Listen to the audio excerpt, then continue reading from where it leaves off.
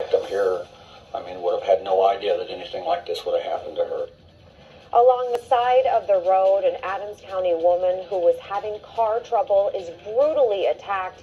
Tonight, the sheriff talks about what happened to her and the investigation into the people he says did it. The victim was 70 years old. She could have been your wife, your mother, or your grandmother. And investigators say she was carjacked, robbed, and sexually assaulted by two people with known run ins with the law last night. And the sheriff says the two should have never been free. WGEM's Charity Bell has been following this story all day and is looking further into further into this. She is live at the Adams County Jail with details. Charity. McKenzie County authorities are trying to get the suspects back here to the Adams County Jail. The two were arrested in Springfield, Illinois. Authorities say the process of getting them back here to face their charges here is all based upon how the investigation moves along there. It was already dark when the woman had to pull her car over to check her headlight. Still, it was only 6 at night on a Tuesday. Deputies responded to the area of North Bottom Road, which is north of Quincy on the Bottom Road, um, where we discovered there was a elderly female victim. She was 70 years old.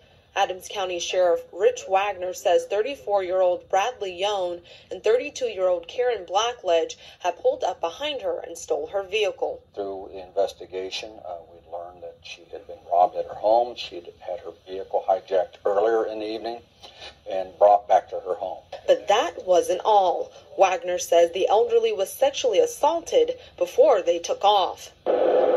Wagner says Yohn and Blackledge showed up in Hannibal. The vehicle fled from that officer.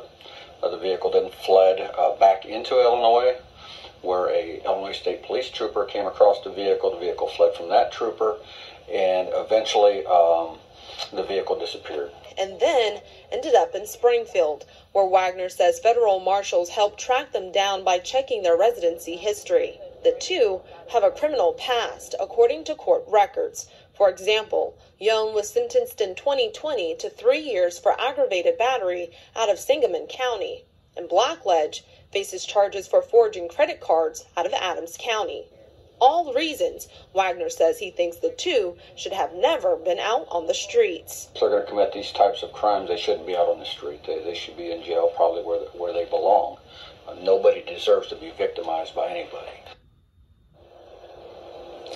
It's not clear when they'll be brought back to Adams County, but Wagner hopes it'll be as soon as possible. He says right now they have four investigators in Springfield helping with the investigation there. Live in Quincy, Charity Bell, WGEM News. Okay, thank you so much, Charity. And Wagner says they are still looking for two stolen vehicles. He says they're looking for a blue green 1996 Chevy pickup truck with a toolbox in the back that was stolen in Quincy. And they are also looking for the victim's vehicle, which is a white 2018 Toyota Avalon. He says to contact the Sheriff's County, the Adams County Sheriff's Office at 217 277 2200 if you have any information on these vehicles or where they might be located.